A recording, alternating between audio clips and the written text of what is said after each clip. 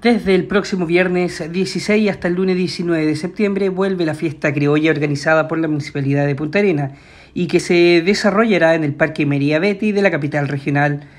la cual contará con diversas actividades típicas de las festividades nacionales. El alcalde Claudio Raonich recordó que se retoma esta tradicional celebración y que se realizará los días 16, 17, 18 y 19 de septiembre Queda una semana justamente para retornar a una tradición que era juntarse la familia de nuestra ciudad en este lugar, ¿no es cierto? Esperamos que la próxima semana ya estemos trabajando. Quiero recordar que el día 16, 17, 18 y 19 de septiembre tendremos aquí esta fiesta de la chilenidad, fiesta criolla de la, de la municipalidad para todos nuestros vecinos. Son 183 locales, desde comida, juegos, kermés, con show con, continuado, vamos a estar con una seguridad reforzada, con baños químicos, de tal forma que esto sea un lugar de, encuentro, sobre todo después de tres años producto de la pandemia. Ya hemos conversado con los, con los locatarios, tal como lo hemos hecho para el carnaval, finalmente para, para tener ciertas, ciertas reglas, sobre todo el tema de la, de la limpieza, de la seguridad. Hay que recordar que es una fiesta familiar donde no se vende alcohol y la idea finalmente que tengamos un panorama entretenido para todos los gustos aquí en el Parque María Betty. En tanto, el director de Rentas y Patentes, Ricardo Barría,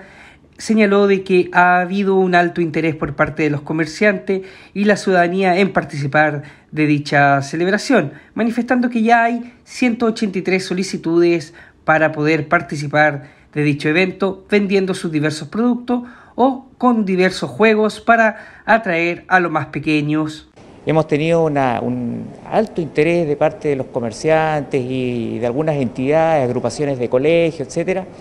para participar en esta actividad. Es así que tenemos un total de 186 solicitudes que se encuentran en curso. La mayor parte de ellos son puestos de comida, que son un total de, 76, y luego tenemos 19 food trucks, 63 eh, puestos para kermés y juegos,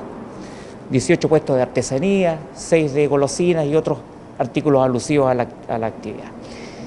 Entonces tenemos un altísimo interés, la gente está realizando sus trámites y el llamado es a que a contar del día lunes se acerquen a nuestras oficinas de rentas y patentes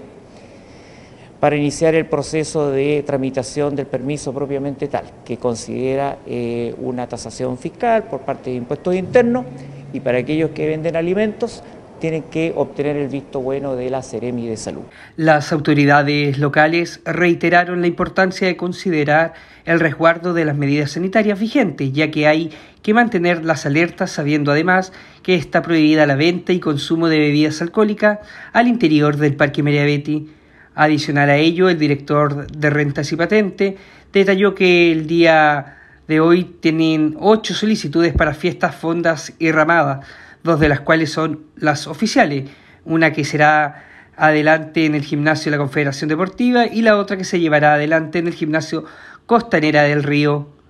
Finalmente, en lo que refiere al concurso de la mejor empanada, la actividad final se realizará el día jueves 15 de septiembre a las 11 horas en la intersección de Avenida Colón con calle Bories.